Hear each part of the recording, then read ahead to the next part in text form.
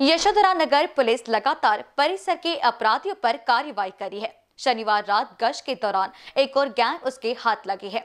चार आरोपियों को डकैती की तैयारी में हथियारों के साथ दबोचा। आरोपियों में बालानल चौक निवासी महेश उर्फ़ सोनू राजकुमार कुसेरी, कांजी हाउस चौक निवासी हिमांशु मोहन सोरते, कुंदनलाल गुप्ता नगर निवासी रूपेश उर्फ़ नवा धनराज येनुरकर और राहुल राजू हटेवार का समावेश है।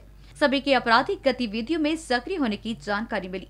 शनिवार रात दो बजे के दौरान गश्त पर निकले दल को जानकारी मिली कि यादव नगर स्थित वाशालय के मैदान में कुछ अपराधी जमा हुए हैं। पुलिस ने फ़ौरन परिसर में छापा मारा। दो आरोपी भाग निकलने में कामयाब हो गए, लेकिन चार को दबोच लिया गया।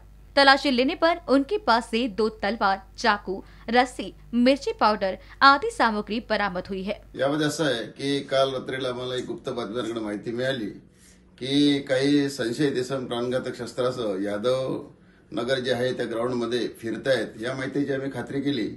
खात्री केल्यानंतर आम्ही आणि माझं डीबीचं पथक त्याचप्रमाणे पंचांना सोबत घेऊन आम्ही त्या ठिकाणी साफार रचला आणि त्यांना रंग्यात पकडलं.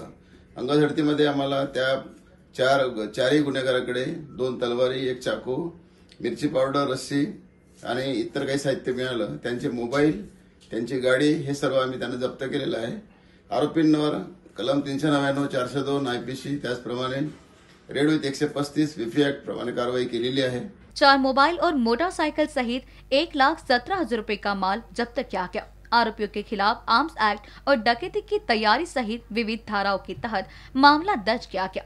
डीसीपी नीलोत्पर और एसीपी रोशन पंडित के मार्गदर्शन में inspector Ashok Meshram, Smita Patil, sub inspector Nasipun Sheikh, Jitendra Bhargava, ASI Prakash Kale, Vinod Solo, head constable Deepak Dhankar और अक्षय सोरते ने कार्यवाही को अंजाम दिया। कैमरा पर्सन माइकल के साथ दिशा हटवार की रिपोर्ट।